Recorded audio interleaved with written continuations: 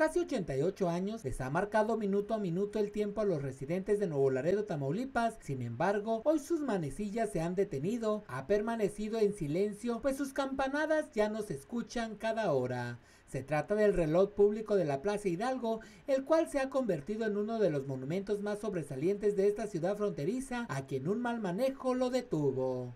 Esta, esta falla que se presentó fue debido a que eh, mandaron a modificar algunas piezas, nueve bujes que se mandaron rellenar y otras piezas también que se modificaron.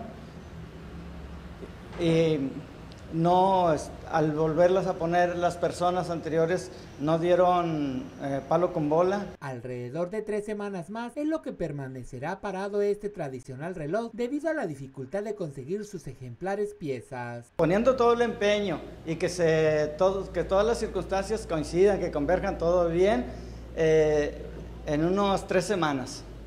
Y decir a pasos a, veloz, o sea que sí, que tengamos los materiales necesarios, que si mandamos una pieza al torno, que nos atiendan al momento. Algunos fronterizos aseguran que es lamentable que este tradicional reloj de la ciudad esté detenido, ya que es un patrimonio de los neolaredenses. Sí, pues es muy lamentable porque pues es, es, la entrada para los americanos y para nosotros y pues se mira mal que no le pongan atención las autoridades y que no no, este, no lo compongan rápido.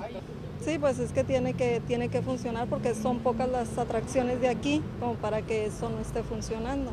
Pues que sí está mal, ¿verdad? Dijo, porque pues sí nos hace falta para los que andamos aquí, para poder ver la hora. A veces no traemos el reloj y volteamos a ver si andamos por aquí cerca y el reloj no está funcionando.